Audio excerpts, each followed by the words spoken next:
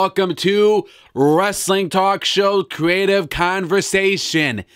Today, we're going to be talking about WWE Survivor Series in our preview and our predictions. And I'm going to give you a full rundown on what I think about the card and what do I think who's going to win these matches. And at the end of the show, you guys can leave me your comments on who do you think is going to win these matches in the comment section below. So let's get into the show. We have the 5 on 5 traditional men match Raw versus SmackDown.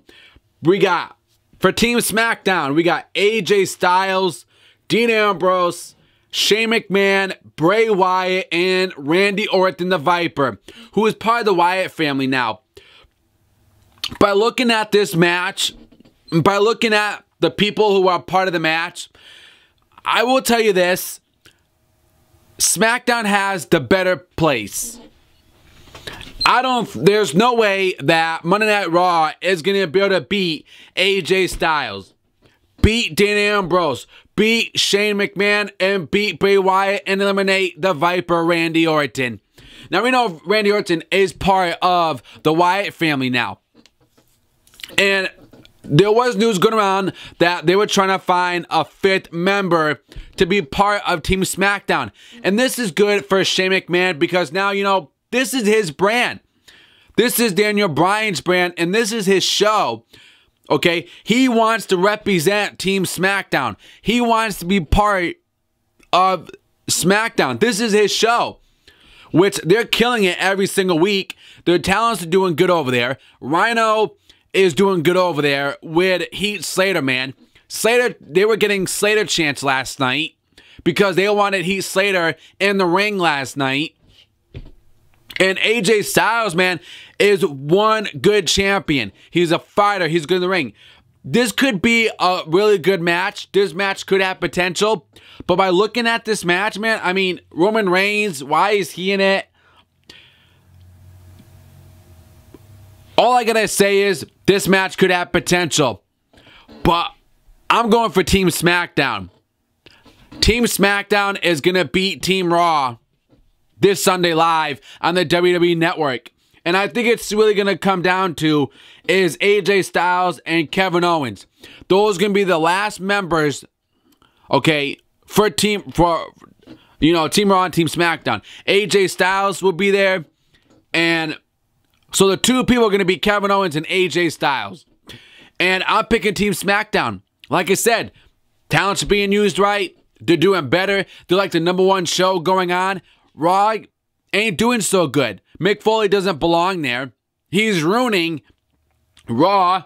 People are watching SmackDown more. I enjoy SmackDown every single week. And I get, and people, you know, I get bored of WWE Monday at Raw. So all I'm saying is, I think SmackDown has a stronger talent than what Raw has. I think Raw has weak talent. Then we have the 5 on 5 women's match. We have Sasha Banks and Charlotte, Bayley, Alicia Fox, who should not even be part of this, and we got Nia Jax. That's Team Raw. For Team SmackDown, we got Carmella, Becky Lynch, the women's champion, Nikki Bella, Alexa Bliss, and Naomi. I'm going to go for Team SmackDown on this. Alexa Bliss is good. She's good in the ring. She's performing good. I think she's doing good on the mic skills. She is definitely champion material. And then you, you know, she's strong. She's a good performer. She has talent. She's doing good right now in WWE SmackDown Live.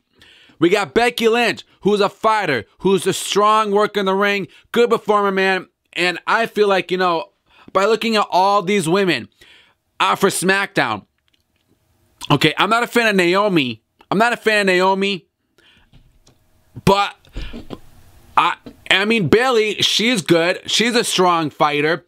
Charlotte's good. And Sasha Banks is good.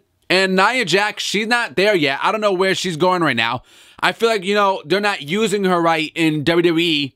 And then you got Alexa, you got Alicia Fox. so randomly, they just put Alicia Fox right into it when really she doesn't really deserve to be in this because she's a jobber. She's not going nowhere. And they're not using Bayley right. You guys know I was reporting about Bayley how they're not using her right. They're not. She's not. She's frustrated right now in WWE how she's getting treated. She's fought a jobber, which that ain't going nowheres. You know, Bayley could be using better to her full potential, and they're pushing her aside and giving Dana Brooke the WWE push as the champion, and Bayley doesn't. And Bayley's not even being part of it. They're pushing her aside you know, to be the WWE, you know, the women's champion. They're giving the push to Dana Brooke and pushing Bayley aside, which I'm pissed about that. So, and then you got Carmella, you know, for Team SmackDown. So, by looking at Team Raw and Team SmackDown for the women, I'm going for Team SmackDown. I think they're the strongest team right now. They're the strongest talent right now in WWE for SmackDown. So that's who I'm going with. Then we got the 10 tag team match elimination.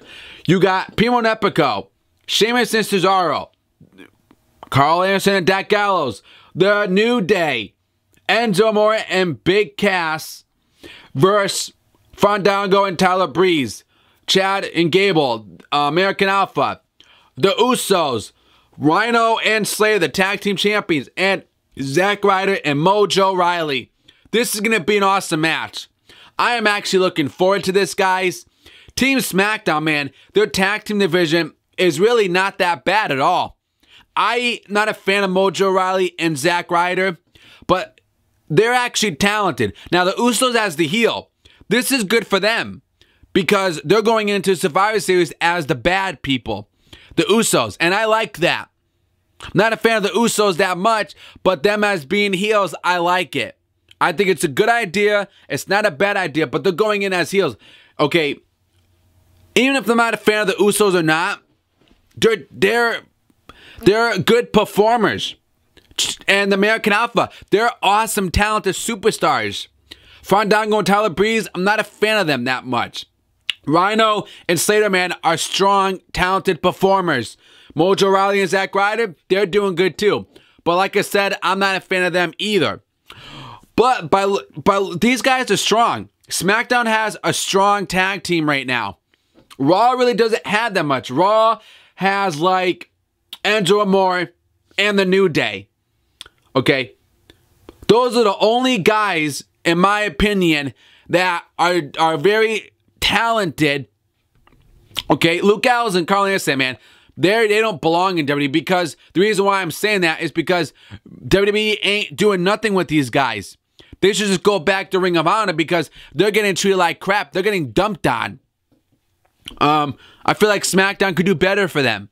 So this is what's going on for the tag team. I'm going for Team SmackDown on this one because I feel like they're gonna beat them, beat Team Raw. The reason why I'm going for Team SmackDown, but guys, is because their shows are better, the storylines are better, their talents are being treated so much better than what Raw is getting. You know, that's why I'm saying, you know, Raw is boring every single week. There's nothing enjoyable to watch every single week on, week on Raw. That's why I love SmackDown because I enjoy it. You know, the talents are being used better. You know, I enjoy the tag team matches. Then we have Intercontinental Sami Zayn and The Miz, which I report about that today, guys. Um, go check it out. Be up there, and I'll be at the end of this episode. And be sure to hit that like button as well. This is a match I'm looking forward to. You have The Miz, who's the heel, and Sami Zayn as the baby face. I can't wait for this match. I am actually looking forward to it. I think Miz, you know, he just won the IC title back last night on SmackDown, and I think, you know, that Sami Zayn is going to beat Miz. I mean, listen, Miz is a good performer. Miz is good is good in the ring, and he's good as a heel, as the champion. I'm not a fan of him as a baby face, but he does good as a heel. And the whole feud between Dolph Ziggler and The Miz, I loved it. I enjoyed it. The reason why I like The Miz is because back on SmackDown Live, when he cut that little segment on on Daniel Bryan, which that wasn't scripted, that was not scripted, that was real. That was realism, and that's why I enjoy watching The Miz. So, I feel that Miz should go back, should just go to Raw and have Sami Zayn go to SmackDown because there's been stuff going around that Daniel Bryan wants to trade people. So I feel like he should trade Sammy's trade the Miz for Sami Zayn because Sami Zayn's gonna beat the Miz. He deserves to be Intercontinental Champion. Sami's a good performer. He's good in the ring. He works good. He's a hard worker. He has so much talent. And Raw never saw that. Raw never used him right. You know, I don't want him to become a jobber. But if you have Sami Zayn be the Intercontinental Champion, beat The Miz this Sunday on Survivor Series, then he goes to brings it to Raw, and then Daniel Bryan says, "No, I want to trade Sam. I want you to get. I want to have Miz on Raw, and I want your new Intercontinental Champion Sami Zayn on my show on SmackDown because one, he's gonna get treated better, and I see talent in Sami Zayn." Because Raw doesn't see talent in Sami. And I'm a huge fan of Sami Zayn. And I don't want him to become a jobber in WWE. So, but this match is, I'm definitely looking forward to it, guys. This match is going to be good. You know, I love both men. You know, he just tied, he's a six time Intercontinental Champion, The Miz, with Jeff Jarrett and Rob Van Dam. He tied them, six time Intercontinental Champion. Um, but that match I'm looking forward to, guys. We have Brian Kendrick and Sin Cara. Now, Brian Kendrick lose it if, if Sin Cara wins. He's bringing the cruiserweight division to SmackDown. Um, which I'm pretty. Nah, I didn't know that was. I think you know it's gonna happen. You know, everything's going to SmackDown pretty much. Um, then we have Goldberg and Brock Lesnar, the match everybody's been waiting for. I'm not looking forward to that match, guys. You know, I think what's gonna happen is Brock Lesnar's gonna. It, eh, Goldberg's gonna lose. He's to lose. I know people are going for Brock Lesnar. This is a fantasy warfare match. I really think, you know, this match is to be better than it was 12 years ago. I think it's going to do a good job. I'm pumped for it. I'm excited for it. This match could be so much better than what it was at WrestleMania 20. Um, so you guys let me know in the comments below. What do you guys think about this whole show? I want your full on opinions. Don't forget, follow me to get more updates on all my videos, you have to follow me on all my social medias. Twitter, at the Talk Show 101. Facebook, Wrestling Talk Show. I'll leave the links in the description for you guys below. And also click that red subscribe button for me as well to get more episodes on my show. So go follow me on Twitter more often, ladies and gentlemen. More often. Follow me on Twitter. I'll put a link in the description you guys below. Till then, that is my predictions for Survivor Series. Um, I just don't think they're gonna let Goldberg win. They're gonna bury him. They're gonna bury Bill Goldberg at Survivor Series. Till then, guys, I'll see you on the next show. Subscribe.